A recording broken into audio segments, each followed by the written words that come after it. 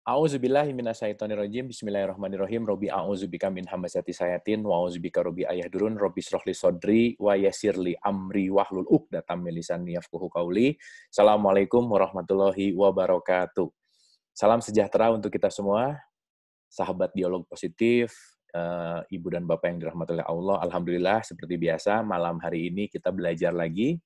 Malam hari ini kita sama-sama membuka pikiran, membuka hati lagi mengosongkan gelas terus sekosong-kosongnya karena yang kosong adalah isi, yang isi adalah kosong gitu ya. Jadi insya Allah kita selalu bisa mengosongkan terus agar semakin isi. Nah malam hari ini eh, guru kita seperti biasa eh, Bang Dame akan menyampaikan the next self inquiry.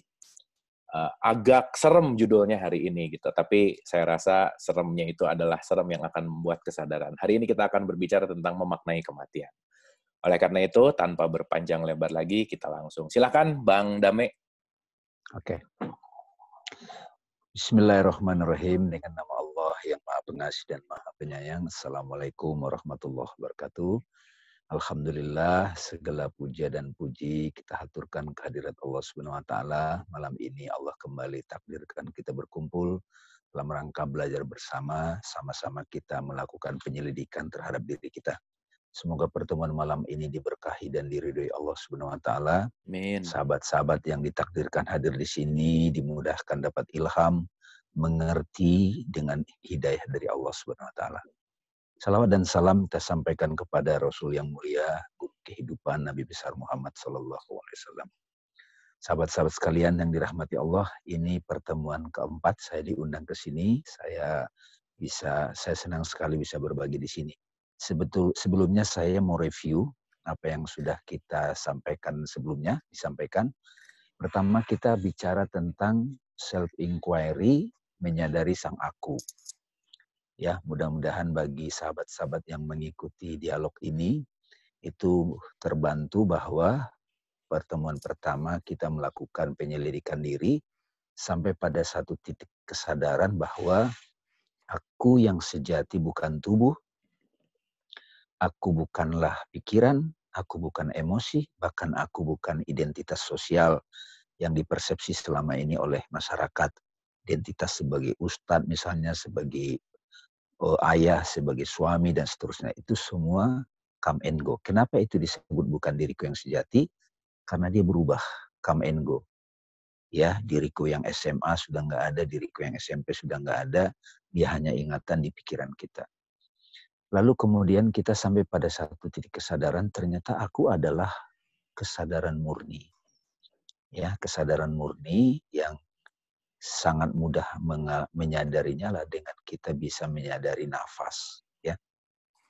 Uh, menyadari, menyaksikan, menyadari yang menyaksikan nafas, menyadari yang menyaksikan emosi dan seterusnya. Lalu kemudian pada pertemuan kedua kita mulai prakteknya dalam kehidupan sehari-hari, ada derajat-derajat kesadaran. Nah, pada waktu yang ketiga kita bicara self inquiry tentang time. Nah, kali ini kita sama-sama mulai melakukan penyelidikan yang sangat penting buat kita semua sebelumnya kematian. Seharusnya sih kematian bukan sesuatu yang menyeramkan. Karena dia adalah kepastian. Ya. Sesuatu yang pasti. Kita tidak tahu pada pertemuan malam ini tiba-tiba ada yang duluan pulang namanya ajalnya udah sudah udah datang gitu. Hmm. Tapi karena sudah terbangun belief system, kepercayaan selama ini, kematian itu seolah-olah menyeramkan. Bahkan saya menemukan satu buku yang dijual di Gramedia oleh Pak Quraish Shihab. Ada judulnya di sini, kematian itu adalah nikmat gitu. Kematian itu nikmat, itu Pak Quraish yang nulis. Kalau Jalaluddin Rumi dalam puisi-puisinya, dia merindukan kematian. Kenapa kematian menjadi menyeramkan? Nah, kita mau telusuri itu. Nah, karena itu hari ini kita sama-sama kontemplasi dan pembelajaran di sini adalah pengetahuanku adalah pengalamanku. Ya, bukan dari orang lain, bukan dari Google, itu pengetahuan mental. Pengetahuanku yang meyakinkan adalah pengalamanku tentang objek yang aku ketahui kalau saya katakan saya tahu kopi, itu bukan dari Google, bukan dari YouTube, bukan dari kata orang, tapi experience kopi. Nah ini pengalaman material. Aku tahu cabai, pengalamanku tentang cabai. Aku tahu sedih. Aku tahu cemburu, pengalamanku tentang sedih. Tapi bedanya dengan kopi tadi, dengan pedas tadi, cabai tadi, objek pengalaman sedih itu di jiwa. Ya, objek pengalaman sedih di jiwa. Aku seperti tidak berbeda dengan sedih. Tapi ingat, aku bukan sedih itu. Ya, karena pada momen berikutnya aku bisa gembira. Kalau aku yang hakiki adalah sedih, maka selamanya aku sedih dong. Hmm. Nah itu menunjukkan bahwa yang hakiki dari diriku, aku yang hakiki bukan sedih. Buktinya beberapa jam kemudian aku gembira, aku ketawa gitu. Jadi sedih dan gembira adalah appearance in our awareness. Jadi penampilan atau yang hadir di di dalam di kesadaranku gitu. Nah, itu salah satu bentuk penyelidikan terhadap eh, pengetahuan-pengetahuan kita yang kita alami sehari-hari. Nah, sekarang uh, saya ingin meminjam cara pandang filosofi sedikit aja bagaimana memaknai sesuatu. Nah, dalam uh, istilah filosofi, kita memaknai sesuatu itu ada makna lateral. Makna lateral misalnya apa itu water, sederhana aja, air gitu. Sebetulnya kita memaknainya dengan mengganti kata, terjemahan sebetulnya. Al-Quran yang kita baca selama ini belum tentu makna yang sebenarnya loh. Hmm. Bahkan kadang-kadang terjemahannya pun keliru. Ya. Aneh kalau kafir, kata kafir diartikan non-Islam. Hmm. Itu sebenarnya aneh itu. Tapi hmm. itu sudah jadi definisi di kepala banyak orang. Pokoknya kalau kafir non-Islam. Padahal secara bahasa aja kafir itu adalah kufur. Tertutup. Kifer. Kiper yang nutup gawang. Cover. Cover buku. Itu satu contoh betapa kita di level pemaknaan lateral pun kita sudah banyak keliru. Bagaimana pemahaman pemaknaan yang lebih dalam. Jadi ada makna lateral, yaitu sebenarnya mirip dengan terjemahan. Ada makna definitif, tapi masih subjektif. Ya, ada makna definitif yang objektif. Contoh, api apa? Api adalah eksistensi panas membakar bercahaya. Setuju nggak? Oh, nggak perlu persetujuan. Karena itu universal. Bukan menurut gue, api hmm. itu panas membakar bercahaya. Tapi kita menemukan dalam pengalaman. Jadi sebetulnya makna definitif yang objektif, yang universal itu adalah makna yang ditemukan, bukan yang di-create. Tapi lampu merah berhenti, itu disepakati. Bisa aja kita ganti lampu merah itu jalan. Bisa dong. Ya. Janur melengkung, itu ada ada resepsi. Tapi itu nggak berlaku di Amerika, nggak berlaku di Jerman. Gitu. Hmm. Jadi di dalam pikiran kita itu selalu ada makna yang subjektif. Menurut gue, menurut gue, nah itu subjektif meaning. Jadi personal. Jadi ya pasti beda-beda, beda angle gitu. Tapi kalau api adalah panas membakar bercahaya, bukan menurut gue. Ya pengalaman. Dan jadi dari zaman Nabi Musa, Nabi Isa, Nabi Muhammad, Bahkan nanti pun generasi sudah kita, ya api ya panas. gitu. Jadi ada makna lateral, ada makna definitif subjektif, ada makna objektif, dan ada mak intended meaning, makna sebenarnya. Makna sebenarnya apa? Ilmu huduri kalau dalam bahasa. Pengalamanku tentang kejadian itulah makna yang sebenarnya. Oke, jadi ada makna lateral, ada makna definitif, subjektif. Kita bisa berbeda-beda pandangan tergantung sudut pandang, tapi ada makna definitif, objektif, dan universal. Berlaku di mana pun. Nah, makna definitif objektif ini didapat dari mana? Dari pengalaman tentang yang diketahui itu. Nah, misalnya pengalaman Tuhan. Ya Nabi Isa menyebut cinta, bahkan disebut Bapak. Ya kan Yesus menyebut Bapak gitu. Nabi Muhammad menyebut Allah. Di dalam tradisi lain namanya Brahma. Gusti. Orang Jawa menyebut Gusti. Nah ketika dia memanggil yang tak terbatas itu sebagai Gusti, itu pasti ada relationship yang pribadi. Hmm. Tetapi kita menyadari bahwa God itself dalam pengalaman orang-orang yang mengalami pengalaman spiritual, mereka menyebut Tuhan itu damai, Tuhan itu keheningan dan seterusnya.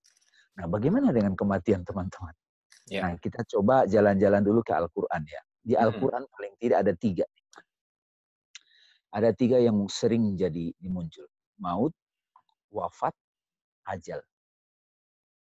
Sebetulnya ada lagi roji'un kan. Innalillahi wa inna ilahi roji'un. Kembali. Tapi yang paling populer tiga ini Pak. Ya. Nah, kita mulai dari ajal. Ajal sebetulnya secara sederhana maknanya expire. Akhir dari sesuatu.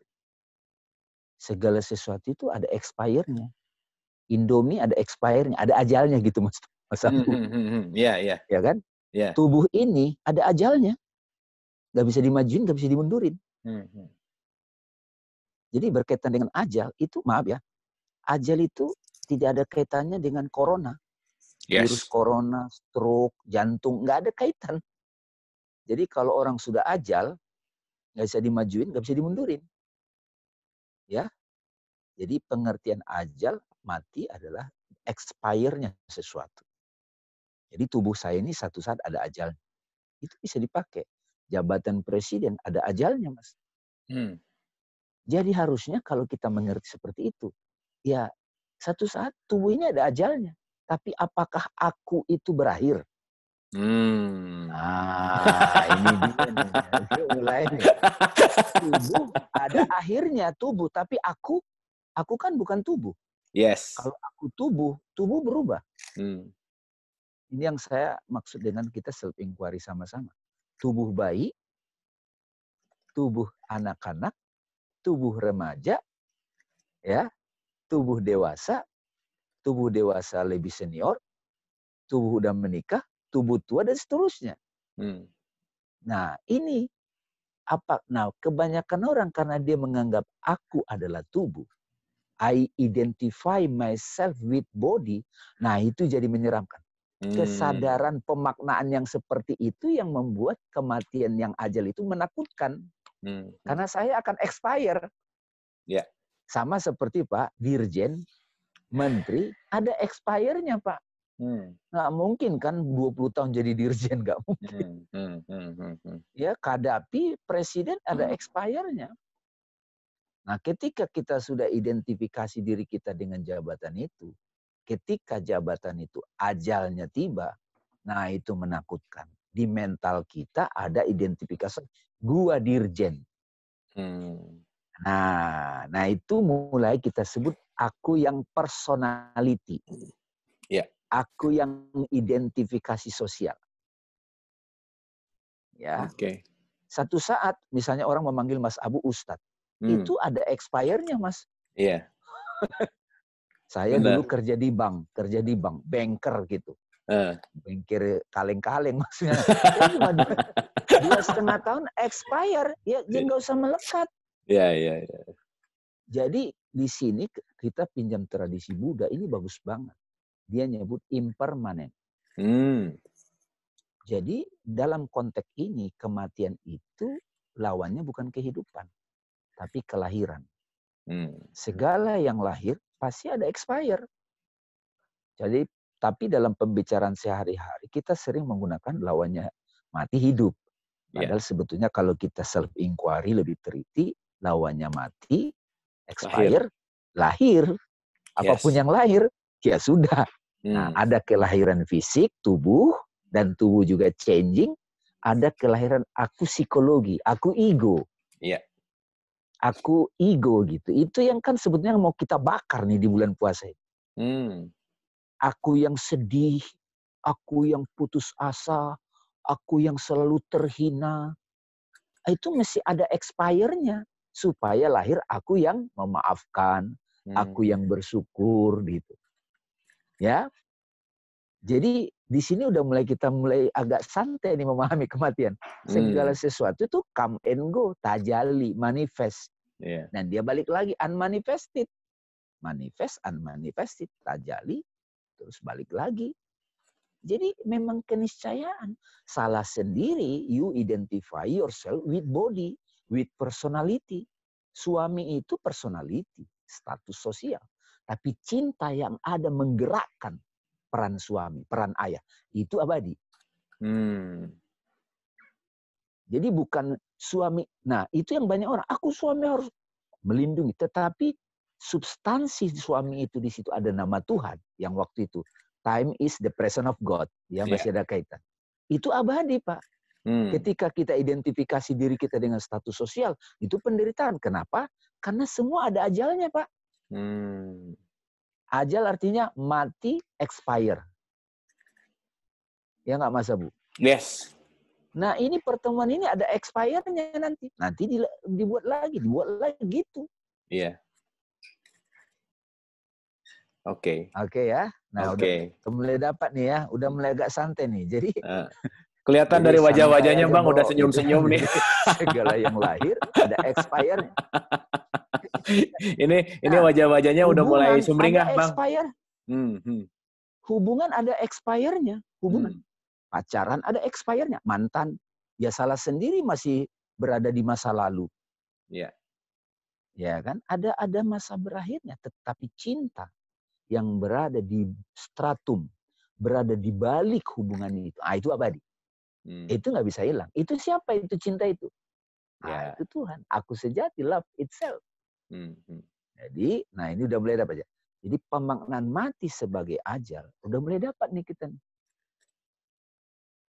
Gitu. Jadi ingat ya, teman-teman, ajal nggak ada kaitan sama corona. Hmm. hmm. ada. Ya, oke. Okay. Menarik Oke, masih nih. ada dua lagi, masih ada dua lagi. Dua ada lagi, wafat. Ya. Wafat. Wafat itu juga satu, satu aja udah lemas, Bang. nah, nah, ya, jadi apa namanya? Saya terus terang suka sekali tradisi di Vedanta.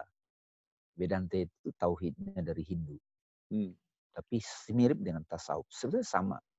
Di situ kan yang saya terangkan kemarin ada empat kesadaran itu, tapi didetailkan tujuh. Hmm. Deep sleep consciousness, hmm pada waktu kita tidur pulas itu juga wafat namanya, diwafatkan. Hmm. Tidur itu sebetulnya saudaranya mati. Jadi sebetulnya tidur itu salah satu pengalaman mati teman-teman. Yes. Ya, tidur pulas, apalagi itu enak banget tuh. Tidur pulas itu masih ada aku nggak? Ada yang bernapas itu. Hmm. Pada waktu kita tidur pulas, kita menjadi aku yang sejati, Mas. Ya. Oke. Okay? Tidak ada dunia, tidak ada experience, tidak ada yang lahir. Hmm, hmm. Kan nggak ada dunia lagi tidur pulas dengan dia kesadaran kita. Hmm. Dan tidak ada ego, tidak ada pikiran. Hmm, hmm, hmm. Ya, yang ada hanya apa? Keheningan, kedamaian. Aku identik dengan kesadaran murni dan kedamaian. Itu makanya tidur pulas. Jadi sesungguhnya kita sudah sering wafat, kita sudah sering mati dalam pengertian tidur pulas. Hmm. Tapi ada juga mati dalam pengertian wafat itu tidur mimpi. Hmm. Nah kalau ini ada dunia mas dalam hmm. kesadaran kita. Hmm. Ada pohon, ada anjing, ada gunung dan seterusnya. Nah di dalam pengalaman tidur mimpi ada aku di situ sebagai pikiran, tapi bukan tubuh. Hmm. Aku saat bermimpi itu bukan tubuh, tapi sense of sense of I di situ. Nah, itu ada sufferingnya, ada menderitanya itu. Kalau tidur pulas nggak ada menderitanya. Yeah. Nah, pada waktu kita tidur pulas itu, tidur mimpi itu, wah menderita di situ. Ada ajalnya nggak? Ada, ada expire-nya. Hmm. hmm. hmm, hmm. Dunianya ada kiamatnya, ada hancurnya. Nah, kiamat di situ artinya hancurnya dunia mimpi itu bangkitnya kesadaran jaga, kesadaran ketiga, wake up consciousness. Sekarang ini nih, Hmm. Nah ini repotnya nih kita menganggap diri kita tubuh nih. Gunanya hmm. self inquiry kita mau menyelidiki bahwa aku bukan tubuh, aku hmm. bukan status sosial, aku bukan person. Itu tujuan self inquiry. Oke. Okay. Ya, jadi yang ketiga maut. Ini saya mau pinjam dari Al-Qur'an surat 3 ayat 185 ini menarik sering dibacakan para ustadz Okay. Tapi kadang kurang teliti. Coba kita lihat. Di sini ada kata maut. Oke. Okay. Auzubillahiminasyaitonirrajim. Kullun nafsin ikotul maut. Hmm. Ya kan? Wa ya. inna ma tuwaffawna ujurakum yaumal qiyamah. Paman ya. jihal anin nari wa udkhilal jannah faqad faja wa mal hayata dunya illa mataul gurur. Itu kan menarik tuh. Tapi terjemahan biasanya tiap-tiap yang bernyawa akan merasakan Mati. maut, merasakan mati. Di Hmm. sini saya punya yang kata per kata, Mas. Ya. Dulu adalah tiap-tiap nafsin. Nafsin itu lebih tepat jiwa, Mas. Betul. Personality. Ya. Marah, benci, kesal gitu, identitas person. Hmm. Tiap-tiap jiwa zaikotun akan merasakan akan atau selalu ya Akan kan? merasakan ya. Iya, iya, iya. Jadi bukan fi'il madi atau pas. Dalam Hmm. bahasa Arab, present dengan future itu satu. Hmm. Akan merasakan al-maut. Hmm. Jadi mati di sini adalah kematian personality, Mas. Oke. Karena kematian personality setiap saat kita mengalami itu. Tiap-tiap jiwa personality selalu merasakan al-maut. Ya. Jiwaku yang disakiti itu udah maut belum gitu. Kayak kita udah masuk kotak belum? Karena kalau dia tidak maut, tidak tidak lahir jiwa yang lebih murni. Hmm. Wa inna ma tuwaffauna ujurakum. Maka dan sungguh sesungguhnya hanyalah akan disempurnakan pahala kalian pada hari kiamat. Pada Hmm. hari kiamat di situ adalah kita sampai pada kesadaran roh. Hmm. Sempurnanya itu apabila kita sudah menyadari bahwa kita bukan nafs itu, tapi roh. Ya. Paman jihad, maka barang siapa dijauhkan dari aninar, neraka itu terjadi pada nafs, Mas. Yes, Nafsu yes. Amaro, nafsu lawama. Hmm, hmm, Jadi hmm, sudah hmm. kita alami sekarang. Hmm, hmm. Perasaan-perasaan sedih, menderita, terpuruk, rasanya kayak dicabik-cabik, dicincang-cincang. Barang siapa dijauhkan dari neraka, wa udkhilal jannah dan dimasukkan ke dalam jannah, taman. Hmm. Berarti jiwa yang lebih harmoni. Mutmainnah, mutmainnah. rodiyah, mardiyah, kamilah. Iya kan? Yes. Fakot fajam, maka sungguh ia beruntung. Sungguh ia beruntung. Jadi teman-teman, apabila kita sudah menyadari maut yang seperti ini, maka kita sudah tahu pasti apakah jiwa kita di neraka atau di surga. Oke. Karena experience kan, tadi kan kita sudah bahas pengetahuanku yang yang benar tentang apa yang ku ketahui adalah pengalamanku. Ini yang menarik Mas Abu. Hmm. Dunia itu berkaitan dengan personality. Mas Abu Marlo dengan ini itu personality, perdamaian personality. Hmm. Ada Instagram, ada eh, Facebook, itu personality. Itu adalah permainan. Makanya, wamal hayata dunia illa mataul gulur, guru. Dan tidaklah kehidupan dunia melainkan kesenangan yang menipu, Memperdayakan, ya, menipu. perdayakan gitu. Main-main gitu. Ya. Ya udah, jadi sekarang yang penting kita tahu apabila kita identifikasi diri kita dengan nafs, personality, itu come and go, ada masanya maut. Hmm, Lahir lagi personality yang baru. Nah, tapi sempurnanya pahala, balasan. Apabila kita bangkit, aku bukan tubuh ini. Aku bukan jasmani. Aku bukan personality. Aku bukan pikiran. Aku Hmm. bukan identitas. Aku adalah I am that I am. Makanya di Bible bilang, be still, I'm God. Yes. Jadi kalau kita sudah sadar sang hidup itu, no birth, no death. Hmm. Itu yang membahagiakan. Oke. Jadi makanya pantas kalau Nabi bilang, antal maut, Qoblal mau maut. qoblal maut. Matilah kamu. Kamu harus merasakan mati sebelum kau mati. Hmm. Tapi orang artikan mati ajal tadi, mati jasmani. Enggak. Hmm, hmm, hmm, hmm. Bukan kulun ajal, antal Ya, ajal. ya, ya, bukan. ya, ya, ya, ya, ya, ya, ya. Iya kan? Antal maut, qoblal maut kan. Bukan antal ajal, qoblal ajal. Bukan. Oke. Nah Oke. ada lagi sebetulnya pengalaman mati namanya mati suri Hmm. sama koma. Saya pernah terus terang mengalami koma usia tujuh tahun, tujuh hari. Itu benar-benar saya experience I'm not my body. Hmm, hmm. I'm not my body. I am that I am. Makanya saya pikir semua orang sadar begitu. Jadi kalau ada orang meninggal, emang sudah waktunya aja. Hmm. Jiwanya masih berjalan. Kalau dia belum sampai kepada kebangkitan rohani tadi, Hmm. kiamat tadi, maka dia akan di neraka atau jannah. Hmm. Nah, kapan itu kita kita tahu? Sekarang. Yes. Jadi sekarang ini kita sudah mengetahui kita itu kaplingnya di neraka atau di jannah. Hmm, hmm, hmm, nah, kalau kita sudah sadar diri kita yang sejati, maka no birth, no death. Gak okay. ada kematian lagi. Nah, terus terang saja ini butuh kontemplasi dan butuh pengalaman dan sejak mengkontemplasi seperti ini saya pribadi lebih percaya apa yang saya alami daripada apa kata orang ini huru hara kiamat ini itu biar aja mereka heboh dengan itu dan mereka menderita dengan perspektif itu dengan belief system itu.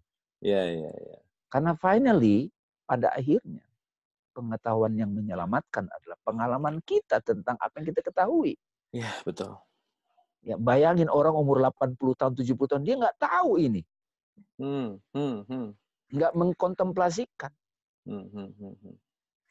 Jadi, ketika kemarin kejadian corona itu kan ada beberapa teman sahabat suka diskusi tentang ini.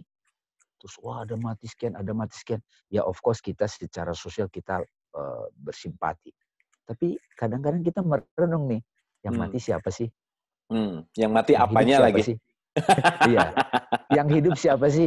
Yang hidup, yang hidup siapa gitu kan bukan damai yang hidup. Iya iya. Emang yang hidup damai. Hmm, hmm, hmm, hmm. Yang hidup itu kan roh itu. Iya, iya. roh, aku roh itu. Iya, Begitu iya. kita sering sadar sebagai roh.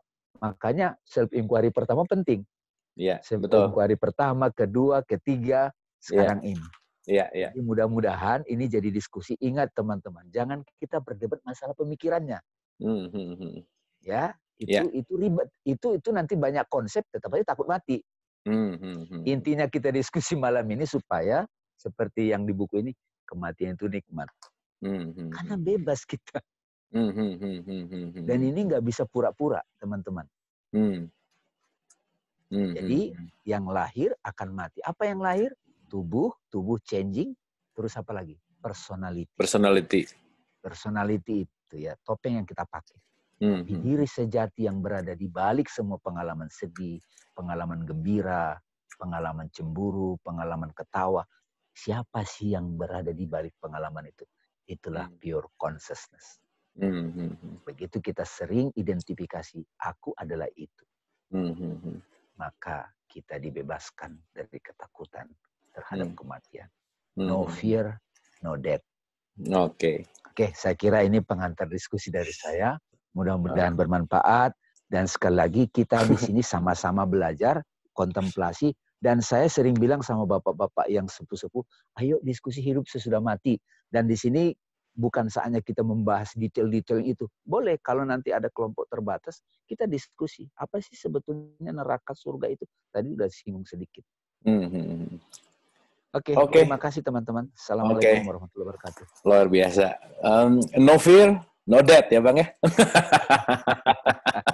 itu itu sadis banget jadi bang uh, mungkin sedikit ya uh, berbicara tentang ini mungkin kalau ada seseorang yang ditinggalkan wafat oleh pasangannya oleh siapanya gitu ya intinya adalah kesedihan itu datang karena si uh, personanya gitu ya, ya personality ya personalitinya gitu Cuman kan iya, mungkin betul. mungkin mungkin pada masyarakat populer ketika kita mengatakan bahwa kematian itu tidak perlu disedihkan gitu. Kematian itu tidak perlu untuk ditangisi gitu. Nah, mungkin kan uh, masyarakat populer mungkin tidak memahami dan tidak tidak menyadari apa yang disampaikan tadi bahwa ya no fear no death tadi gitulah kira-kira.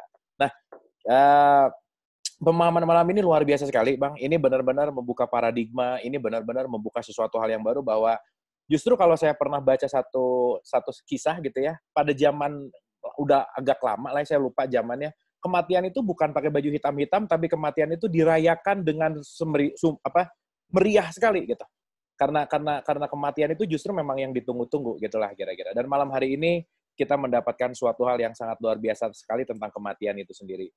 Oke, terima kasih Bang Damai. Teman-teman boleh tepuk tangan dulu buat Bang Damai luar biasa banget ya malam hari ini. Singkat, padat, tapi mind blowing ya susah ceritanya. Oke, oke. Nah, ini mungkin langsung ada yang langsung langsung langsung tanya nih. Heaven in hell is here and now. Itu pertanyaan, Bang. Gimana tuh Bang menyikapinya kira-kira? Ya, begini teman-teman. Saya menghormati apa yang disampaikan oleh guru-guru kita selama ini. pemaknaan terhadap surga neraka itu secara dogmatis. Hmm. Ada disampaikan di Al-Quran. Tapi kalau kita bertemu dengan guru-guru sufi ataupun orang-orang hakikat, itu mereka memaknainya lebih dalam. Oke. Sehingga sampailah pada satu kesimpulan. Contoh misalnya, nar. Hmm. Nar itu kan secara lateral itu kan api. Ya. Nar, anar. Hmm. Nar itu nun dan ro. Ada satu guru yang saya hormati, itu mengatakan nun dan ro. Jadi Hmm. nar itu adalah api. Hmm. Nah, tentu bukan api kompor dong kan. Ya, ya, ya. Itu nggak Iya, mungkin kan. Ya, ya, ya. Nah, jadi nar itu api, api yang tersembunyi di batin. Hmm. Jadi cemburu itu, itu panas loh Pak. Dendam Hmm. itu api banget itu. Itu kayaknya kayak dicabik-cabik gitu. Hmm, hmm, hmm. Nah, nar itu, derita itu, apabila kita self inquiry, kita akan tahu yang menderita itu ternyata person, Ya. pikiran. Hmm. Ketika kita sudah menyadari, oke, aku menderita, aku merasakan sedih, aku merasakan perih banget. Nah, saat itu kita terima, baru, nah ini gunanya self inquiry. Siapa sih yang sedih ini? Hmm, Aku, aku yang mana? hmm, Nah, itu jangan lari. hmm, Justru gunanya kita diskusi, aku alami sedih, aku rasakan, tapi siapa yang sedih ini? Aku. Pasti kita jawab aku. Aku yang mana? Nah, di situ kita akan menemukan, oh, kita mengamati sedih itu. Ternyata itu adalah person. Dia datang dari ingatan masa lalu. Apalagi kemarin kita bahas time. Ya. Ya kan? Itu semua come and go. Nah, Hmm. begitu kita sudah bisa mengamati sedih itu, nah di situ kita menemukan makna atau hikmah dari pengalaman sedih itu, itu namanya nar itu change jadi nur. Ha, nur itu jadi enlighten itu cahaya. Ya, ya, ya. Makanya Oke. sering-seringlah merangkul neraka derita itu supaya dapat nur. Tapi memang perumpamaan dari Nabi, bagaimana menyeberangi nar menuju nur, Hmm. neraka menuju surga, itu kan ada sirotol mustaqim tuh. Ya, ya. Seperti apa itu Mas Abu? Rambut Seperti dibelah? Lambo dibelah tujuh. Gimana itu cara melewati? Nah, nah, balik lagi ini kita harus self inquiry lagi. Apa sih maksudnya rambut dibelah tujuh? Memang Hmm. kalau kita ketemu orang yang kita benci itu kan, aduh udah belajar self inquiry, udah belajar ikon nih, tapi ketemu orang nyebelin kan, itu kan di batin kita kan budak, budak, waduh ribet banget. Nah, silent. Amati derita itu, kemudian nanya, tapi kon dia nyakitin, nah jatuh lagi tuh ke neraka gitu loh. Nah Oke. itu perumpamaannya bagaimana kita bertemu dengan orang yang nyebelin, tetapi kita sudah bisa menyeberangi derita batin kita itu. Oke, Bang. Luar biasa. Oke, terima Saya kasih. Bunda. terus terang teman-teman, saya ingin menekankan pengalamannya ya. Hmm. Karena sesungguhnya perjalanan kita adalah pengalaman kita terhadap yang kita ketahui. Hmm. Banyak konsep ini itu saya udah ketemu itu orang-orang kebanyakan konsep. Begitu di hadapan utang, tagihan debt kolektor, udah jadi neraka udah itu. Padahal baru ikut jadi Kebanyakan konsep ya.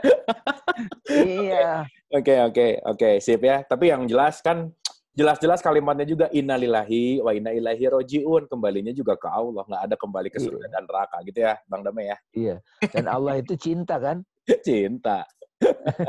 nggak ada ilahi jannah itu pulang ke jannah tuh nggak ada. gitu. Oke, Iya. kita langsung ke penanya. Ini ada Mbak Eliza. Silakan Mbak Eliza.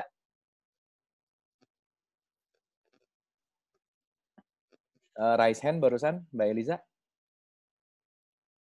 Oh, enggak. Oke. Halo, halo, halo. Ya, ya, gimana? Silakan. Ya, terima kasih sama Kang Abu. Selamat Ya. malam, Bang Dame. Ya. Eh, tadi eh, ini banget yang diceritain Bang Dame ya, kok cocok banget gitu. Pas saya ke Cipta Gelar juga ketemu Kang Yoyo gitu ya, sesepuh di sana bilang, "Bu, kalau mati tuh kayak ya ibaratnya kayak ibu tiba-tiba kejeduk," dia bilang gitu. Terus baru, "Oh, ternyata kayak gini ya," gitu. Hmm. Jadi bukan sesuatu yang menyeramkan atau menakutkan gitu. Jadi eh, jadi dengan saya ngedenger itu misalnya dari Kang Yoyo, terus sekarang denger dari Kang Nam, eh, Bang Name gitu, terus dari mungkin guru-guru yang lain gitu. Jadi memperkuat bahwa oh iya berarti seperti itu ya gitu. Jadi karena selama ini kan dogma kita yaitu tadi surga, neraka seperti itu. Oke. Ya itu aja sih Kang Abu, iya share-nya. Terima Eh, kasih. kayak kejeduk aja katanya kalau mati itu. Oh gitu. Jadi gi- begini, Ya, begini Bu Bu, Bu Eliza ya, Bu Ya. Eliza Ya, ya. Eliza, ya.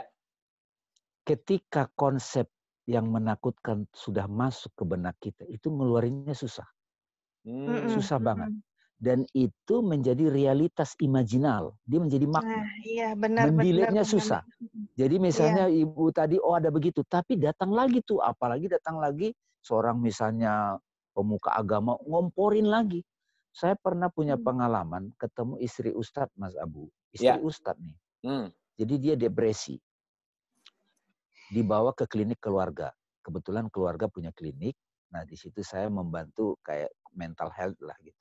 Hmm. Lalu kemudian ini udah diobatin secara fisik, masih aja sakit.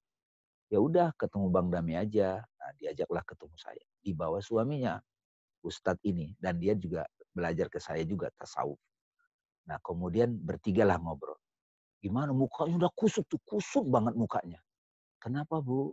Cerita, dia ceritalah sekitar 30 menit. Iya, ada ustadz bilang saya nanti disiksa begini di neraka kalau rambutnya dijambak ini. Waduh, masuk semua konsep itu. Dia cerita. Jadi saya takut Pak Ustadz gimana dong? Oke. Saya dengerin dia cerita Mas Abu. Habis itu, kayak udah, udah ceritanya udah. Sekarang tarik napas saya bilang. Buang. Tarik napas. Buang. Nah, beberapa menit kemudian dia tenang. Coba sekarang baca Al-Fatihah, Bu. Saya- Dia bacalah Al-Fatihah. Bismillahirrohmanirrohim. Apa artinya, Bu? Dengan nama Allah yang maha pengasih dan maha penyayang. Nah, ini nih. 6.600 sekian ayat, Bu. Itu diperas jadi tujuh ayat Fatihah. Oke? Hmm. Tujuh ayat Fatihah itu diperas jadi Bismillah. Apa kata Quran Tuhan itu? Pengasih penyayang. Nah, ini ini yang benar. Kamu mau percaya yang ini, apa yang dipercaya yang ngomongin Ustadz itu saya bilang gitu. Iya, iya, iya, iya. iya. Terserah ibu. Kalau Ya. ibu doyanam itu silakan. Nah, ini nih, Fatihah. Baca lagi. Alhamdulillah. Segala puji bagi Allah yang mengatur semuanya. Teratur indah. Baca lagi. Bis Ar-Rahman. Nah ini nih, nih. ini yang benar nih. Nah, karena saat itu saya apa temanin dia begitu, tiba-tiba dia change, mukanya sumringah. Hmm. Ternyata Ustadz yang saat yang kemarin ngomong itu dia curhat, dia galau, dia bagi-bagi ke orang. Hmm. Pindah rasa galaunya itu energi negatifnya. itu. Nah, lakinya nggak mampu membawa kehadiran kedamaian. Itu habis itu sembuh. Beneran. Nah, poinnya apa? Ketika sudah masuk konsep di benak kita, itu mirip seperti intelijen, Pak, Iya, atau iya, iya. teroris. Hmm, Begitu hmm, hmm. sudah masuk, nanti ada ini, konspirasi ini. Sendiri dia di pikiran. Sampai dia lupa mensyukuri dia punya anak. Mensyukuri dia ada makanan di depan dia. Di benaknya penuh dengan kecurigaan. Hmm, Ayam hmm, tetap berkokok. hmm, hmm, Burung hmm. tetap bersiul. Pohon-pohon tetap tumbuh. Mereka Yes. tetap bertasbih. Nah, manusia itu ribet sama pikirannya sendiri. Karena itu saya mengajak self-inquiry. Kapan pun kita ribet pikirannya, makna terhadap apa pun. Periksa, self-inquiry, selidiki. Hmm, hmm, hmm. Yes, Bang. Jadi seolah-olah ajaran Islam itu padahal Bismillahirrahmanirrahim. Itu kan kebenaran. Betul, betul, betul. Saya adalah begitu sudah masuk ke benak kita, kayak terhipnotis. Hmm, Kita ini semua amnesia rame-rame, Pak. Amnesia susah banget keluar. Amnesia berjamaah ya. Ki- Kita lupa siapa diri kita yang asli. Iya, iya, iya, iya. Diri kita yang asli itu divine. Hmm. Dia ilahi. Dia Yes. fitrah. Puasa ini kan tujuannya agar kita kembali kepada aslinya kita. Iya. Aslinya kita apa? Fitrah. Fitrah. Fitrah Menghilangkan itu personality itu ya. Iya, iya, betul. Itu dia. Nah, biar makanya belajar mati sebelum mati kan. Betul. Mematikan personality itu sampai kepada sisanya apa? Iya. La ilaha, la ilaha, la ilaha, la ilaha, la ilaha, la ilaha. Iya, iya, iya. Tuhan iya, iya. Tuhan palsu, Tuhan Tuhan palsu, Tuhan persepsi. La ilaha, la ilaha illallah. Hmm, hmm, hmm, hmm, hmm, hmm. Nah, ini harus jadi pengalaman baru bisa menenangkan. Betul. Dan memang Bang, ini 299 yang hadir memang maut semua Bang. Soalnya ngomongin mati udah senyum-senyum Bang, aneh juga Bang. Oke, alhamdulillah ya. Oke Bang, kita lanjut ke Mbak Winda Zuhra. Silakan Mbak Winda. Assalamualaikum Bang Dame. Waalaikumsalam. Ya. Uh, ya, Bu. Saya rada telat dengerinnya, tapi berhubung mengenai kematian jadi penasaran. Ya, gimana? Uh, kan tadi katanya Bang Dame, kita nggak boleh sedih. Hmm. Nggak hmm. boleh menghadapi dengan melihat ada kematian itu kita nggak boleh sedih. Hmm. Gimana mau nggak sedih kalau Bang lima tahun berturut-turut kehilangan empat orang sekaligus dan itu saya baru bisa meng me, apa ya namanya ya melepas melepas itu dengan lega setelah 10 tahun. Hmm, hmm. Lalu uh, sekarang saya setiap kali selalu berpikir bahwa alhamdulillah ibu saya udah nggak ada, jadi dia tidak merasakan kanker paru-paru karena ibu saya merokok, perokok berat. Begitu juga dengan adik-adik saya. Alhamdulillah ayah saya meninggal dalam tidurnya, jadi dia tidak merasakan kesakitan lagi. Lalu kemarin salah satu sahabat saya juga meninggal setelah sebel se dua bulan sebelum ini kita pergi nongkrong bareng, terus tiba-tiba dia koma, lalu tiba-tiba dia sakit. Dan saya sedih, sedih banget. Tapi saya bisa merasakan bahwa alhamdulillah dia sudah lepas dari deritanya. Tapi hmm. ada beberapa orang yang kalau kita bilang sabar ya, ikhlas, ikhlas itu susah, tidak seperti tidak semudah diucapkannya. Lalu teman saya itu marah, lo enak aja lo bilang sabar, lo kira sabar tuh gampang. Lah emang nggak gampang, emang susah. Tapi kan kita coba kali gitu ya Bang ya, artinya ya, dengan untuk bersabar, berikhlas, walaupun itu semuanya berat untuk dihadapi.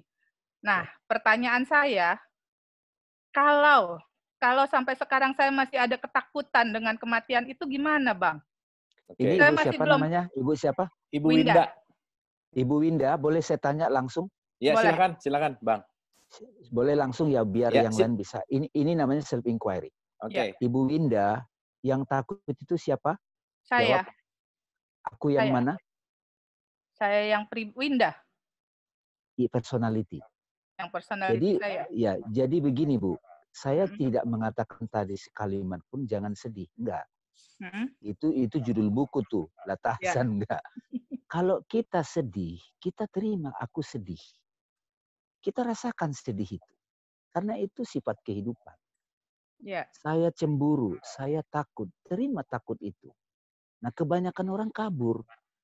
Begitu dia pak kabur, itu nongol lagi. Makanya kapan pun kita merasakan di batin kita sedih, terima, aku sedih. Lakulah lakukanlah ini yang kita bahas ini self inquiry, meditation, hmm. penyelidikan diri. Siapa yang sedih? Pasti kita jawab aku. Aku yeah. yang mana ya? Hmm. Begitu kita bisa sadar, oh ini aku personality. Begitu kita berhasil mengamati diri yang takut ini, personality yang takut. Nah, sang pengaman ini, Bu, ini yang disebut kolbu itu diri ibu yang asli. Begitu ibu sampai kepada kolbu ini, tiba-tiba sedih itu jadi come and go. Nah selama kita menganggap diri kita adalah pikiran, personality, memang pasti merasa sedih. Itulah gunanya manusia tafakur, merenung. Nabi bersabda, tafakur sejenak, lebih baik ibadah 100 rakaat. That's it. Beneran Bu, ini.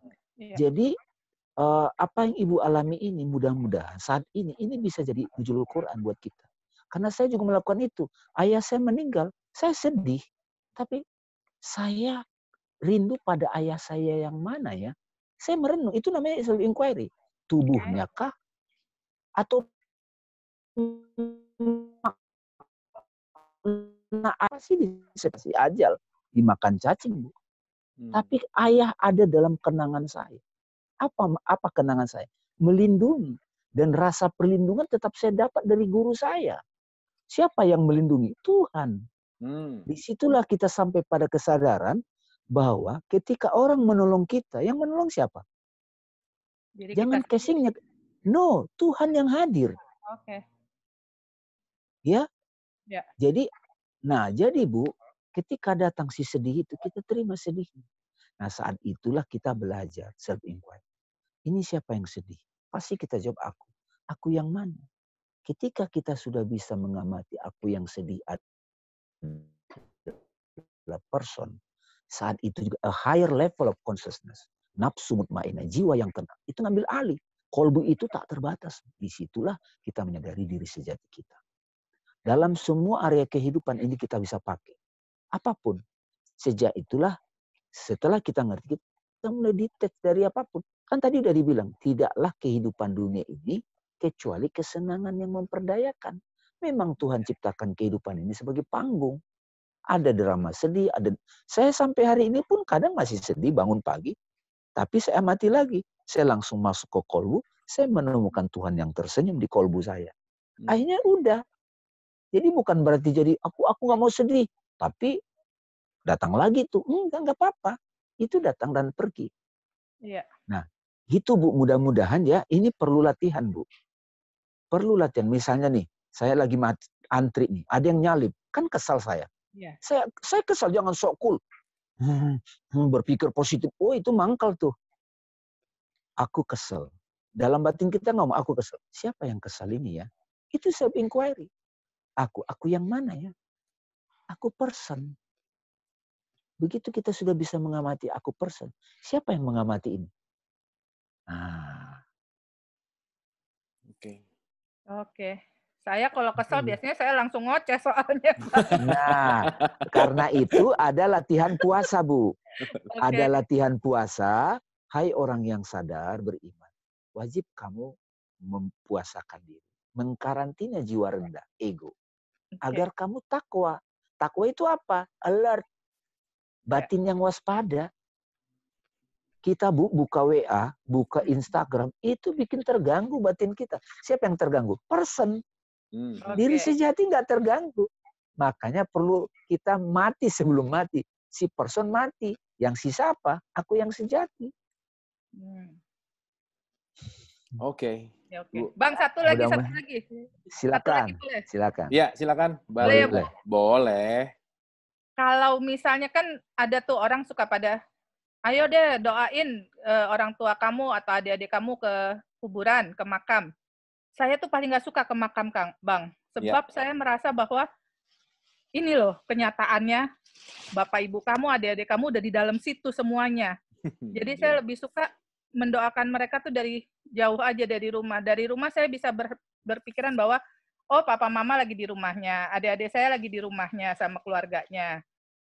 Dan sebetulnya itu ke makam itu perlu banget nggak sih bang? Oke, oke, ya silakan bang Bu, Ya, saya sebenarnya tadi untung Ibu ingatkan. Orang yang sudah terbiasa self inquiry yeah. atau ikro ya, be, be, belajar dari kehidupannya, kejadian. Itu kita mulai mengurangi menganalisa orang. Oke. Okay. Jadi apa pun yang hadir di depan kita, kita selalu ngaca. Ya. Kalau misalnya orang ke makam, Bu, itu satu tradisi yang bagus. Mengingatkan kita loh itu sebetulnya. Oke. Okay kita ke makam itu Bu, mengingatkan kita. Kalaupun misalnya disebut mendoakan, itu kan bernostalgia dengan kenangan kita terhadap orang yang kita sayang. Ya. Ya, saya terus terang, kuburan ayah saya, saya udah nggak tahu di mana. Tapi saya sering ketemu beliau, bila perlu saya ketemu, mohon aja ya Allah, aku mau ketemu ayahku. Sekarang hmm. aja kita kan ketemunya di online, saya ngelihat HP kok ini. Tapi kan hmm. kan berasa kita komunikasi. Saya nggak, saya saya nggak ketemu Mas Abu Marlo secara fisik, tapi yeah, yeah. batin kita ketemu. Yeah, yeah, yeah, Bagi teman-teman yang tidak bisa mudik, nggak apa-apa. Kita bisa ketemu dengan hati yang tulus. Jangan bikin selamat lebaran itu ketik satu gambar, konteknya ada lima ribu sama semua. Ada yang spesial lah. Itu bahasa basi.